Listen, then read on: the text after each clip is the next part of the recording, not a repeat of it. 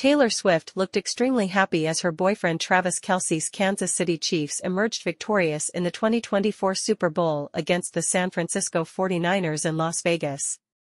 The couple celebrated the win with a kiss and warm embrace at the stadium, and their post-game romantic moment is now making waves on social media. Following the victory, Travis Kelce headed to a club in Vegas to continue the celebration. In a viral video on February 28, the American football star was spotted wearing a yellow shirt and dancing to Punjabi music, particularly the hit song Mundian To Bach Ke. Travis showcased his dance moves, including the iconic steps associated with the song. The video generated a lot of humorous comments, with one user playfully dubbing him Travinder Singh Kalsi. Fans praised his dance skills, with one saying, very cool, and he's got the Bhangra moves down, while another commented, he did it better than most Punjabi guys. Taylor Swift's beau Travis Kelce grooves to Punjabi music, watch.